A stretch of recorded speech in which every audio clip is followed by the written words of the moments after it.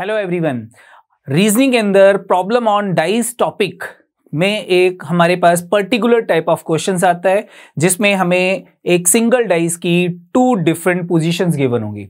और इन दोनों different positions जो हमें गिवन है, इनके अंदर सिंगल कॉमन नंबर है। और मुझे किसी एक पर्टिकुलर नंबर की अपोजिट फेस पे कौन सा नंबर है, ये फाइंड करना है। तो इस टाइप का हमारे पास जो प्रॉब्लम होगी, उसको हमने कैसे करना है, कैसे क्वेश्चन सॉल्व करने देखते हैं बच्चे। क्वेश्चन है हमारे पास two position of a dice are shown below यहाँ पे हमें टू पोजीशन गिवन है, एक सेम डाइस की।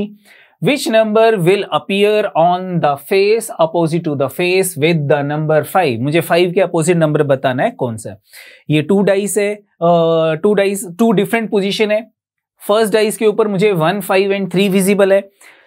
सेम डाइस की जो अनदर पोजीशन है, उसमें मुझे two six and three visible है। दो डाइस पे हमारे पास जो कॉमन नंबर है दैट इज़ थ्री ये थ्री दोनों डाइसिस पे कॉमन है। तो मुझे ये निकालना है कि फाइव के अपोजिट कौन सा नंबर होगा? तो जब भी ऐसी सिचुएशन होगी, हम क्या करेंगे? डाइस की ओपन पोजीशन ड्रॉ कर लेंगे।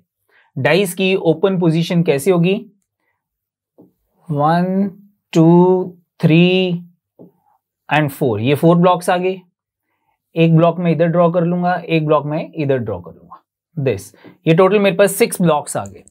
जो भी दोनों डाइस पे कॉमन नंबर होगा दैट इज़ थ्री वो हम यहाँ पे मिडल में लिखेंगे थ्री फ़र्स्ट डाइस में जो हमारे पास एंटी क्लॉकवाइज मूवमेंट में आफ्टर थ्री कौन कौन से नंबर विजिबल है? थ्री के बाद हमें वन विजिबल है देन फाइव विजिबल है।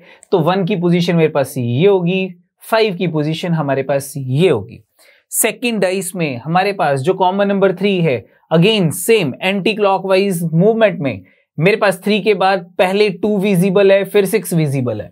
तो टू की पोजीशन मेरे पास ये होगी और सिक्स की पोजीशन मेरे पास ये होगी। रिमेनिंग नंबर डाइस का फोर है फोर हम यहाँ पे लिख लेंगे।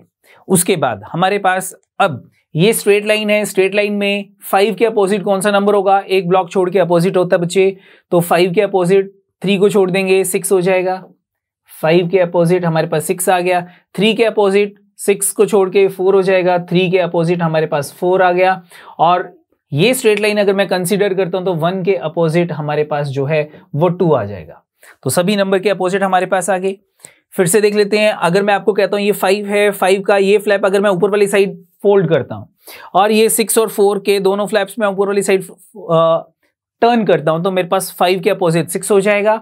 और ये जो टू वाली पोर्शन है, इसको मैं ऊपर वाली साइड और वन के पोर्शन को भी इधर टर्न करता हूँ तो टू के अपोजिट जो है बच्चे वन आ जाएगा टू के अपोजिट वन आ गया, या वन के अपोजिट टू हो गया फाइव के अपोजिट सिक्स हो जाएगा, एक ब्लॉक छोड़ के अपोजिट होता है थ्री के अपोजिट फोर आ जाएगा तो मेरे पास जो है हर नंबर के अपोजिट नंबर आ गया।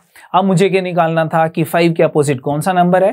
तो फाइव के अपोजिट मेरे पास जो है वो सिक्स है तो सिक्स इज़ द आंसर हमारा आंसर जो है दैट इज़ सिक्स